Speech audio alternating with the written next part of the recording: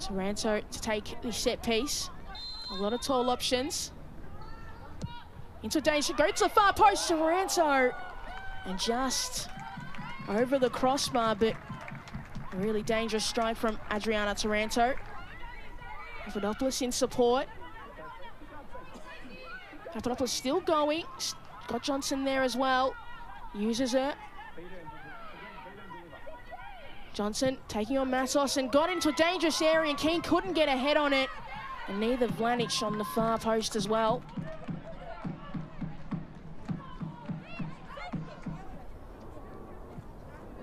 Played into a dangerous area and it's come off the head of Hannah Keane. And she gets her 12th goal of the season. And a great way to start for the West for Western United. Yeah, and as I touched on, the threat that this side is aerially on and on all set pieces.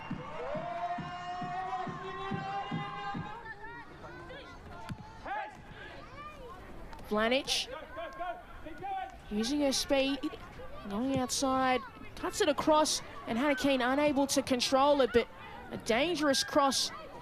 But it's fallen to Angie Beard, who's taken a strike, and Sham Carbs knocks it over the crossbar. Almost getting a goal out of nothing. The, the key for Wanderers, as I've touched on, is them being able to play the ball forward and, and connect passes. And Hannah Keane's done really well to beat Ferris there. And Hannah Keane gets her 13th goal of the season and doubles the lead for Western United. And a great afternoon for her. And now she's the outright leader in the Golden Boot race.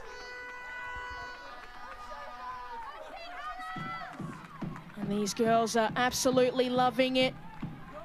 And Western United, they're almost completed what they need to do. Potentially Steer might come on for the likes of Kahli Johnson as a straight swap.